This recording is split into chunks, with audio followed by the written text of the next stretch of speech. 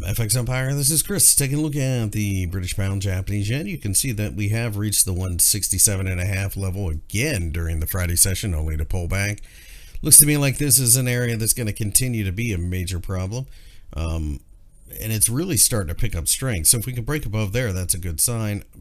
More likely than not, we've got consolidation. 165 to 167 and a half makes a nice little range.